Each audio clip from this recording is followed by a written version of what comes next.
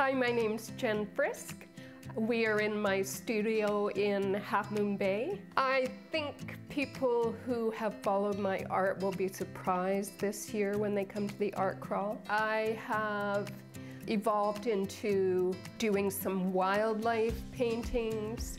Um, during the lockdown last year, I thought I would try some really in-depth textured mixed media pieces and actually my husband was using resin in some of his woodwork and I thought, oh, what could I do with resin? So I sort of developed this technique with plaster and acrylic inks and then finished them in resin. I've also got a few new big landscapes on the go, so hopefully people will come by and check it out.